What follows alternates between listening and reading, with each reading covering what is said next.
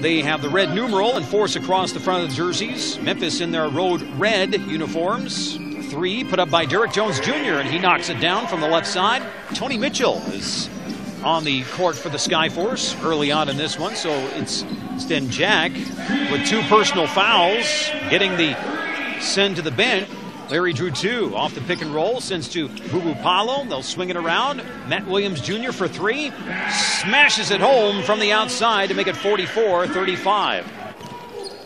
And that was with the Blake, Blake Griffin trade. And then he was shuttled off to Memphis. So he did have time with the Grand Rapids drive. Here comes Derek Jones Jr.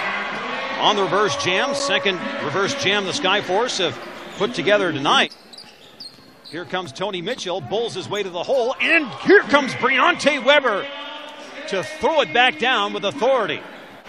And Weber on the rebound, picks up the pace, feeds Derek Jones Jr., who will lay it up and in. To a close here at the Sanford Pentagon, here on Heritage Court. Kobi Simmons falls down, and then the Skyforce come away with a loose ball. Here comes Lob City for Ike Nwamu off the feed from Briante Weber. After a quiet first quarter, now has 15 points to make it 68 61. Briante Weber sets up Kadeem Jack for the slam. He's got six boards so far tonight. And he will drive the lane behind the back pass to Kadeem Jack, who will lay it up and in.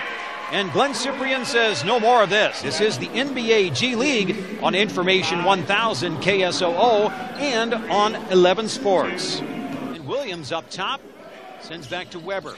Ball fake, back to Williams. They found him again. And there he goes. 15 for Matt Williams Jr., and that's the 10th assist for Briante Weber.